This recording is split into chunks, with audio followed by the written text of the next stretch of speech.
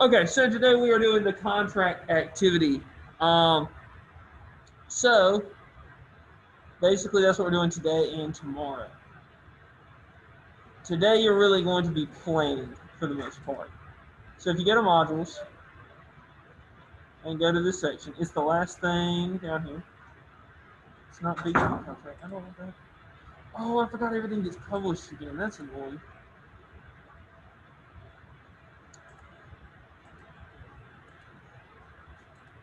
No. No. Boom. Perfect. Uh, so this is the contract activity. You are going to be creating a contract with someone in your life, an adult of some sort. It could be a coach, it could be a parent, it could be an advisor, it could be a teacher.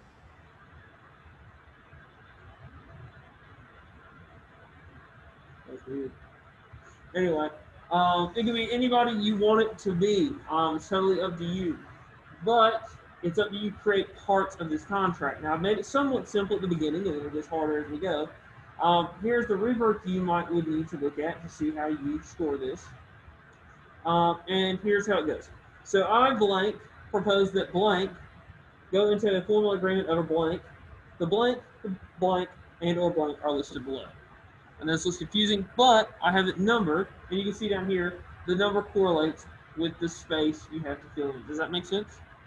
So there's just a little bit of basic recall in here. Uh, who makes the offer? So that is our definition from the notes we went over yesterday. Are you okay? Yeah. You look like you're like, you look like you could seen some stuff. No. Okay, I'll just make sure you're okay because you were like zoned out. You're like a kid at the pool after they've been swimming. Have y'all seen those memes? The one with the how you look at the pool after you've been swimming all day and they got the towel over their head and they're eating their snack. That is, that is those are facts. That is exactly how it works. Anyway, um, but basically, if you follow these blanks, it'll make sense. Um, then, so this is now when you have to give up something or give something. I will blank in exchange. You will, or you blank will blank, basically.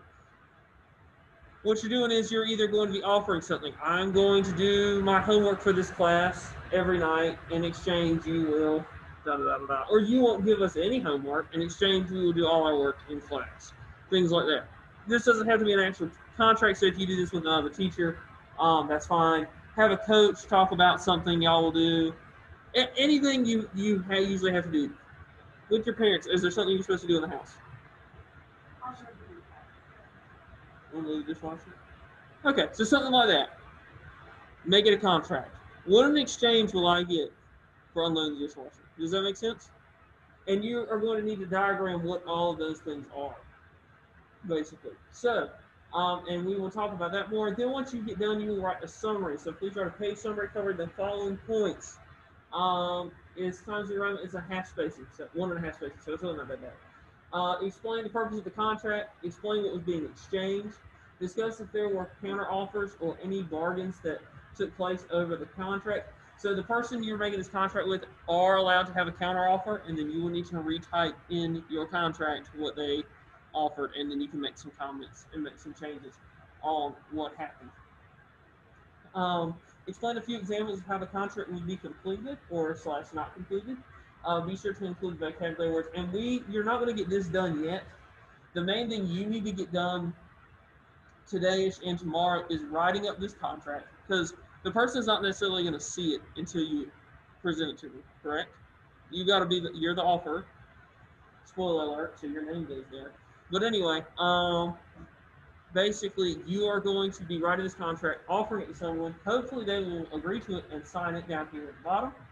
And then we will go over the next section of notes about um, completing a contract, and that's how you will do this part of the summary right here. Any other information from the contract that you thought was important? So you'll have all this information in here, and I'm giving you enough, I think, bullet points that you can write a page fairly easy. Um, it's really not that bad. So um, I know I don't I don't usually get y'all to write much, but bear with me. It's not bad. Um, Carter, this is not due until sometime next week. But if you get this part, this first part done very quickly, then you'll be fine. Like in the next couple days, if you write the contract, show it to someone, They sign off on it. You're done. Does that make sense? So pretty basic. Um, and then all you have to do is write the summary, and I'm going to give you plenty of time next week after Monday, because also you have Monday. You have Monday to get this contract done as well. Then on Tuesday, we'll go over the 2.02 notes. And then Wednesday, Thursday, you have time to write it in class. So really, you don't have to do this over for homework or anything. It's in class, so it's not a bad deal. This is an assessment. It's not really a test, but it is an assessment. So I can see how you do on this.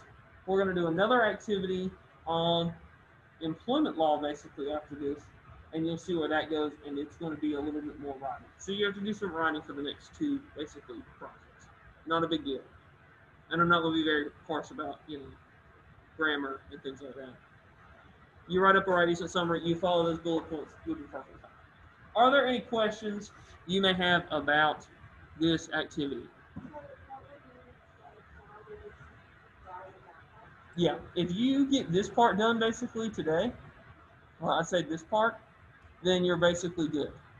Uh, and then by Monday of next week, if you have it signed, you're golden.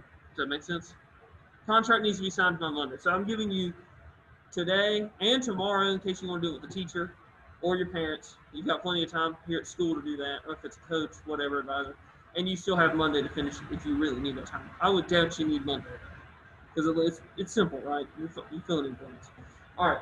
Um, and then, like I said, I'm gonna probably give you a couple days to finish the summary part because if you have a full hour of class time, you can write a page. That's all. All right. Any other questions? If y'all are good, I'm gonna let you have at it.